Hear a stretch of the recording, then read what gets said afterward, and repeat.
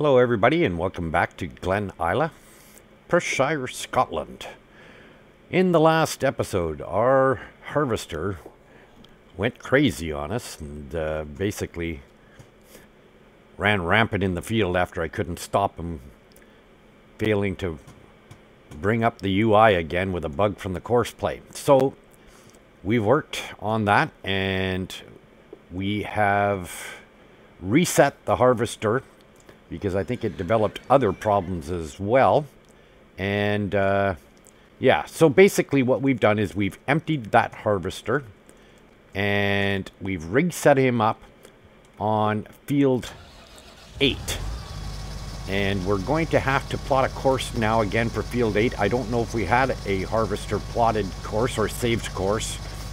Uh, even if we did, it wouldn't matter because that's a different size header. This is the new 9 meter header. So let's bring up the course play and it is going to be used as a tool. We'll plot the course for field 8. Okay, so field 8, headland, three passes counterclockwise and we'll set it to turn and double check your work width because there's seems to still be a little buggy as to whether it'll just remember the last work width or auto calculate the current work width. Okay, so we'll generate that course and we'll escape that. We'll check this bug, which always says counterclockwise, regardless of what you set in the course. Make sure that it's set right so we don't get any conflicts there. And we will start at the first waypoint and we will request the driver for the harvester so he knows to stop when to unload and we do have stop when unloading activated. So he's ready to go and we'll just drive the course. And again I think part of the problem we were running into the last time was I was closing the HUD after I had started him on the course and then left the vehicle and let him to run the course when I came back and tried to re-engage the HUD or bring it back up, I couldn't. And then there's another bug that when you go to call for the, the HUD to come up, the driver wants to start to drive the course again and you have to quickly stop the driver.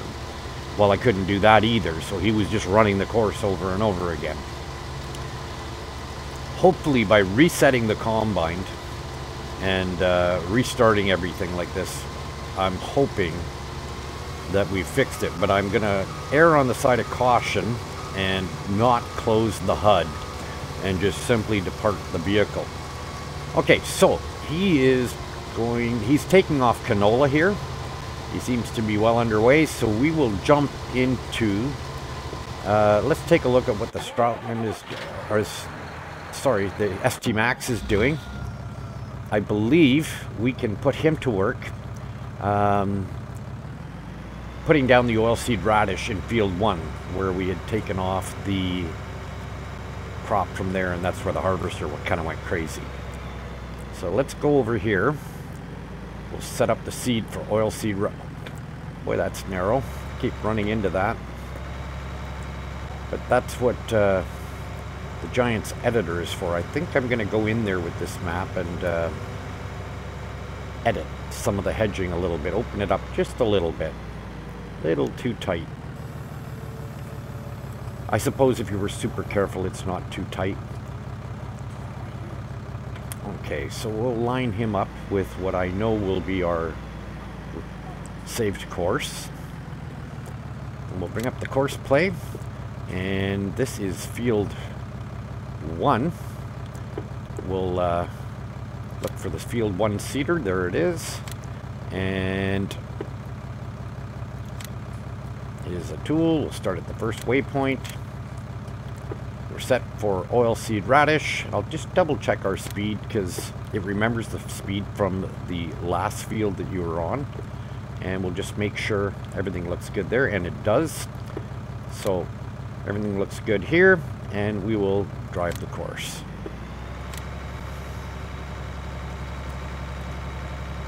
And why? Okay. Let's stop the driver. Did I not set up field one? Is everybody laughing at me? I'm sure I did. Let's do that again.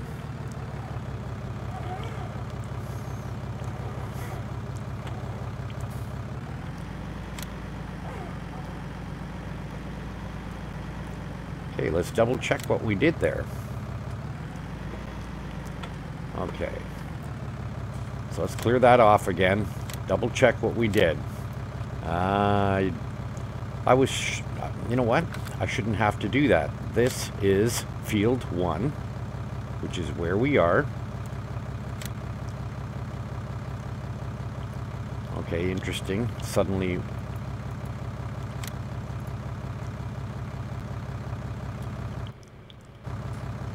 didn't want to bring the map up. Yeah, we're in field one. So I'm going to select field one, seeder. No, we're going to clear that again, refresh it. Keeps wanting to...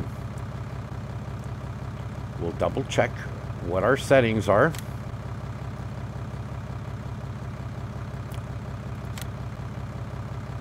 And that's what it should be.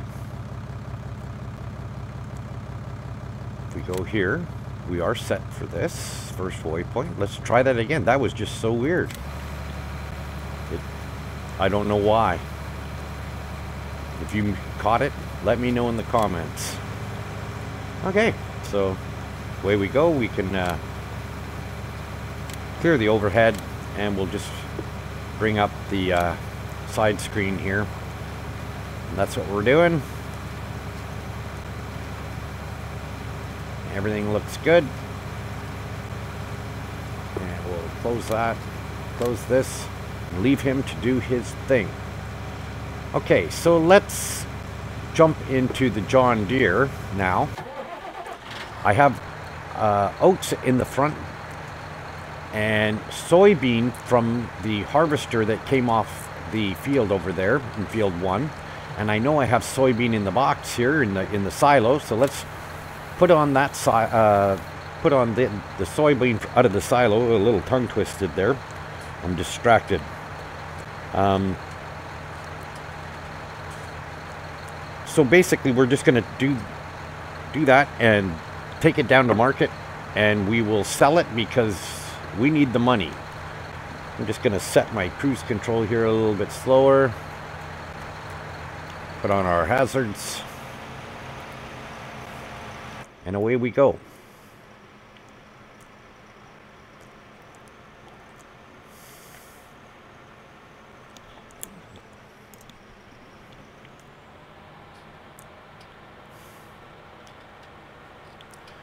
Forgot I still had my on-screen display going there.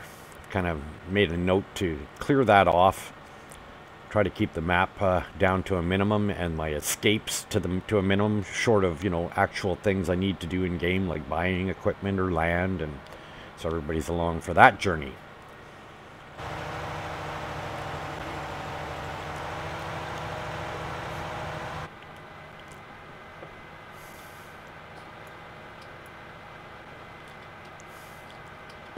That's my player camera mod that allows me to zoom back just a little bit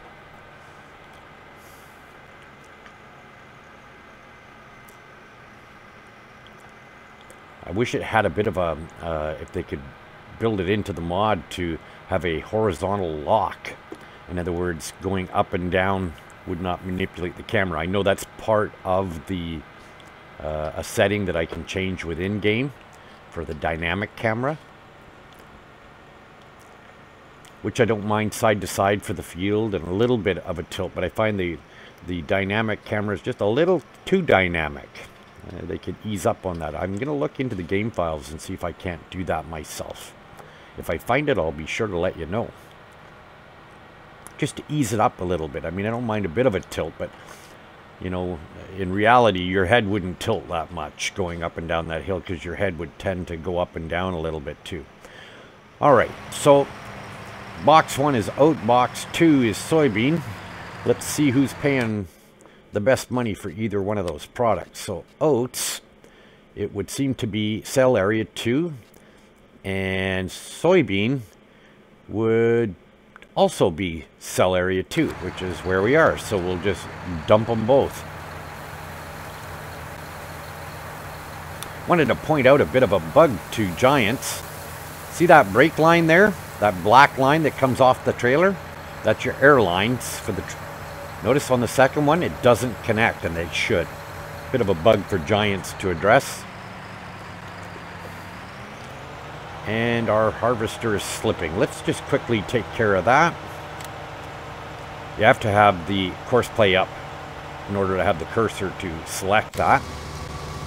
And we will stop the driver. And I believe if we bring up the overhead, he should be transitioning into the first up-down lane here. That's exactly what he's supposed to do. So let's just give him a little bit of help here.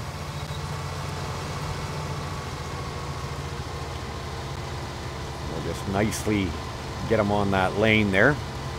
And then we will start him at the next, or the nearest waypoint. And away he goes.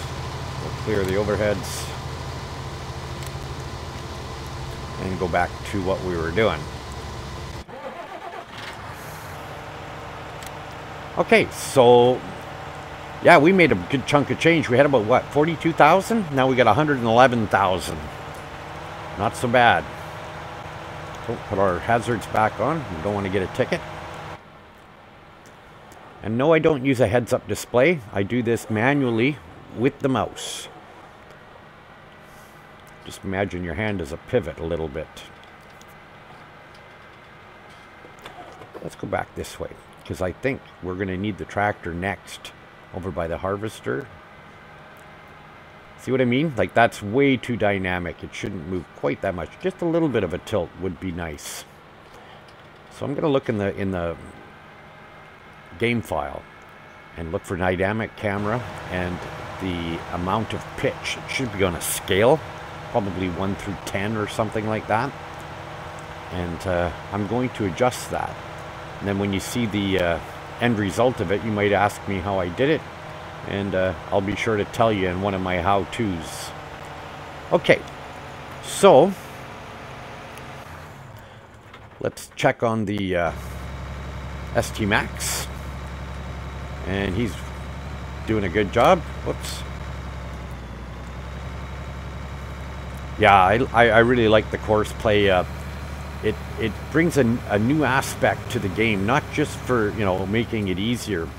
It actually allows me to find more enjoyment in the smaller maps, which I never really had appreciation for, especially the tight ones.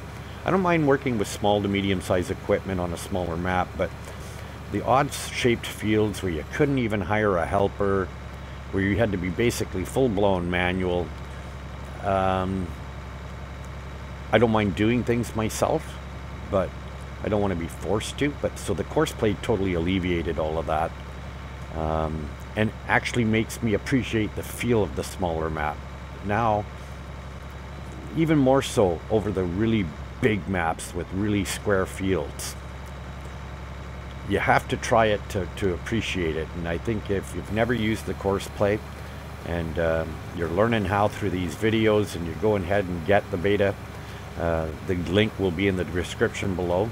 Remember, you have to update it almost every time you fire up the game. It changes like literally a couple times a day. So there are bugs and, and bugs get worked out on a, on, on, a, on a daily basis or sometimes an hourly basis. So just be sure to update your course play um, regular. Okay, so I wonder if there's anything else in the um, anything else in the um, silo that we can set up. Now this harvester is uh, just about done. He's going to have at least half a box of uh, canola I'm guessing around 23, 24,000 liters, somewhere in there. Let's find something out of the silo that we can add to that and also take to the market.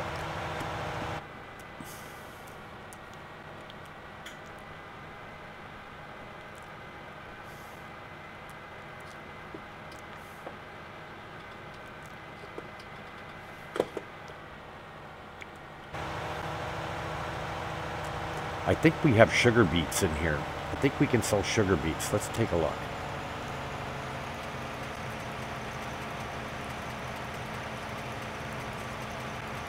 Oh, there they were. Yes, we have a full box of sugar beets. Okay, and we'll take that over towards the harvester there.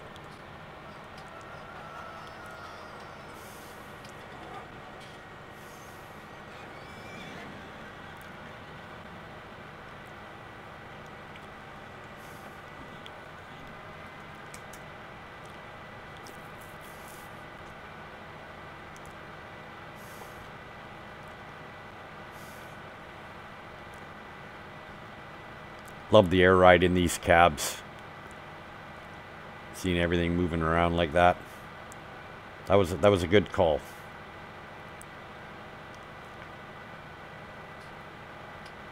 On the part of Giants. Okay, just in time. it's telling us he needs to get unloaded. I have to fix this bridge. Look at the big holes in there. Holy smokes.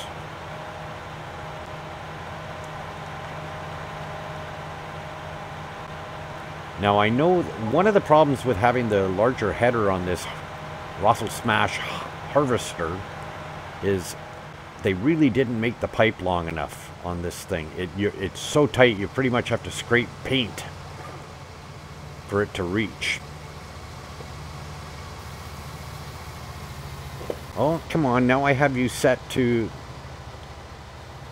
what are you doing? It's, it is set. You saw me. I set it to stop during unloading, and soon as it started to unload, it started to move.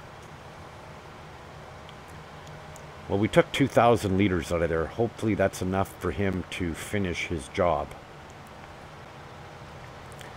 Once he's finished, what we'll do is we'll uh, empty him, of course, and then we'll grab the seeder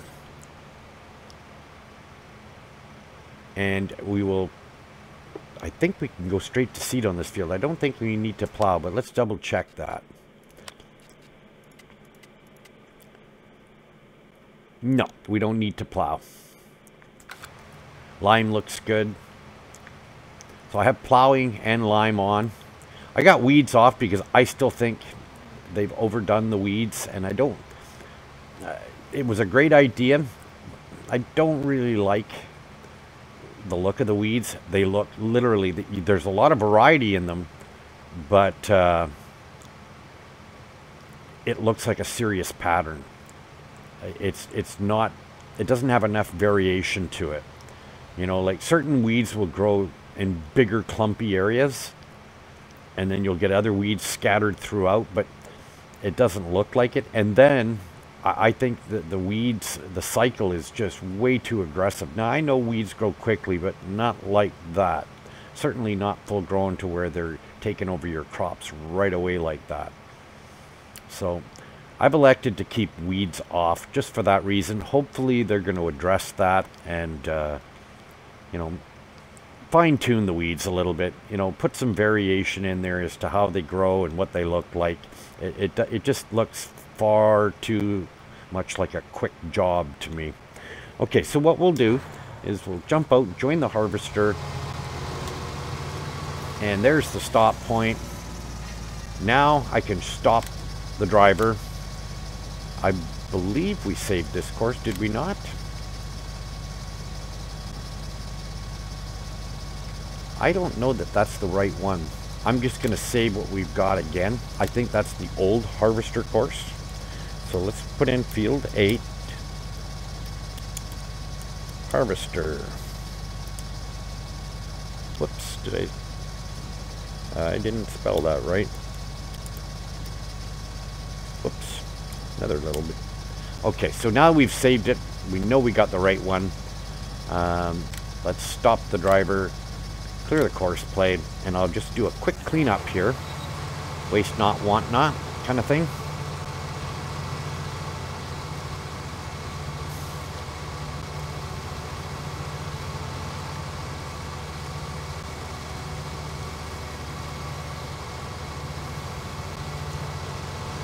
Did we get it all? I don't know, a little bit over here still.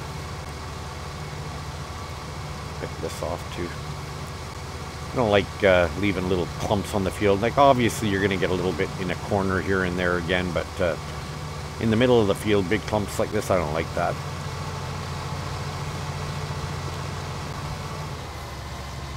Okay, we'll get the pipe out. We'll do a loop here. Like I say, you got to get so close to this thing. You're swapping paint.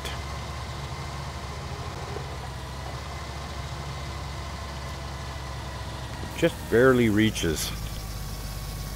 Yeah, so I think I was pretty close. I figured about 24, what did I say, 23, 24,000 liters? Might hit 25.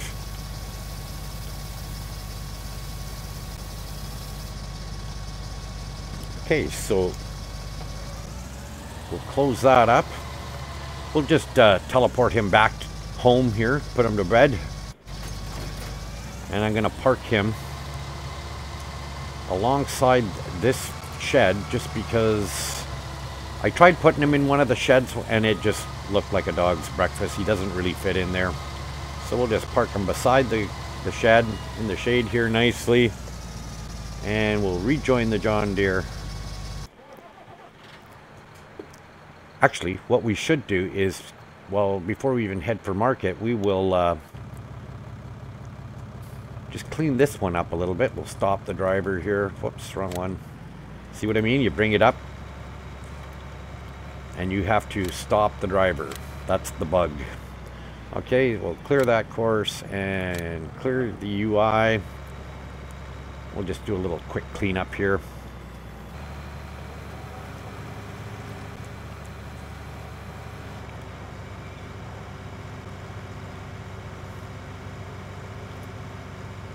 Clean up this little bit in the corner here.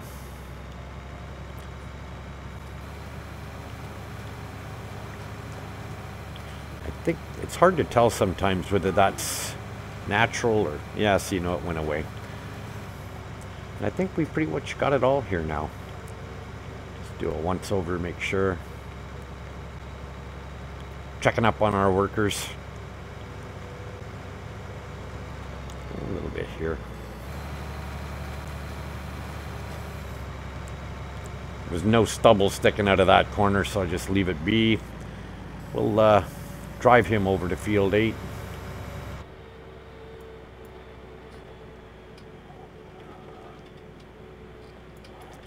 A little too far out. There we go.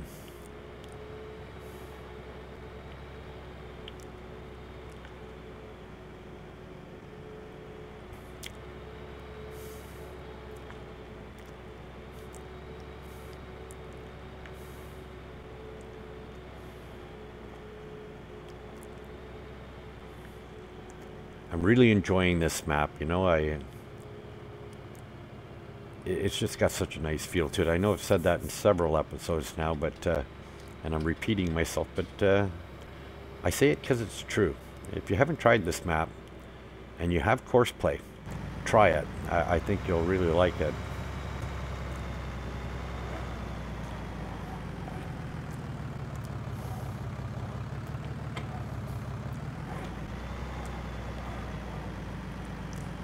Okay, so we'll set him up. Bring up the course play. This is field 8. Seeder, there it is. And we'll just double check our speeds for this field. Uh, we can speed it up a little bit on this field just because it's a it's a longer throw. A, there's a bunch of straighter lines in there. And we're set for the seeder here, first waypoint and oilseed radish and away we go. Actually I'll just bring up the overhead again so you can see it. So we're gonna have three headlands. The reason I do three on this field is because over here these hedges um, they do produce a problem in the up downs if you don't have a really wide area in here. So just so you know. All right, we'll leave him to do that. And let's jump back into the John Deere. And we can take this to market. Whoop, wrong one. Ever do that? I've got them on the side of my mouse. A bunch of buttons on the side of my mouse. And quite frequently, uh, because I reassigned some of them. I, I now find myself just out of habit pushing the wrong button and have to relearn that habit a little bit. Hazard lights.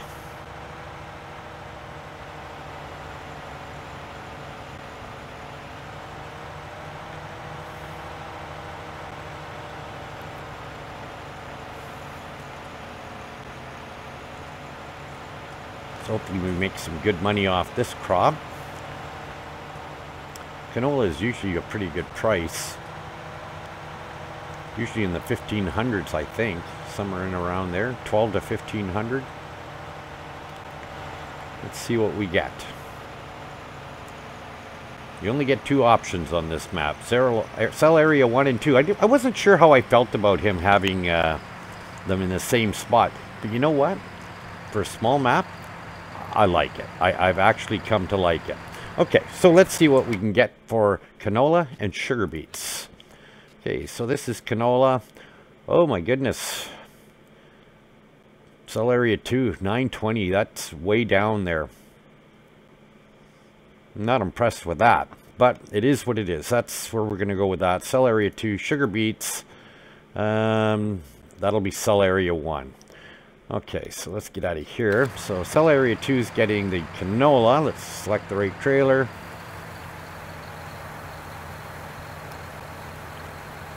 What do we make off that? 23,000. Well, the extra cash is certainly certainly welcome. And we'll switch trailers, the sugar beets.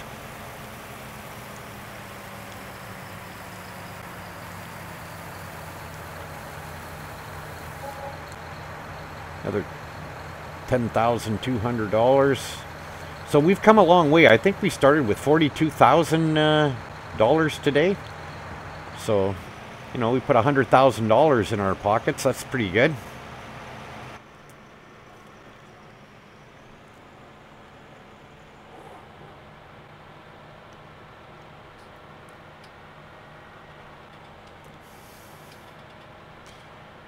Speed bumps in town.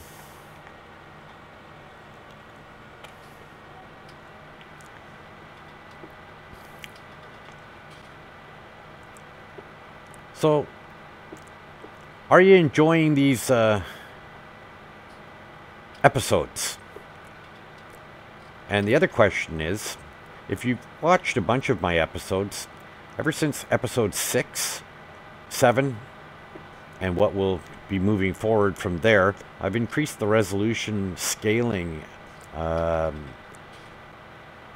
in the settings in the game from 120 to 150 percent and I've also increased some of the finer uh, tweaks within the NVIDIA graphics settings uh, to do with texture filtering and stuff like that.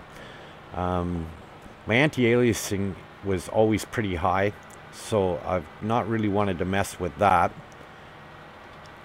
My question to you is, does it look better to you? It certainly does to my eye, and, and the point I'm trying to make is with the compression settings from YouTube and stuff like that, it's it's a whatever you can do to enhance it within the compression will translate to a better picture. And I guess my question to you is this: Does the picture look better to you? Since episode five was the old settings, five and less, and every and all the other uploads, not just the uh, uh, Glen Isla. But does it look better to you since 5? Now 6 and 7, I'm using these higher resolution settings. I should dump this trailer, actually. Um, does it look better to you? I, would really like to hear. To my eye, it definitely looks better. But I'd like to know what your opinion is. Uh, please do leave me a comment.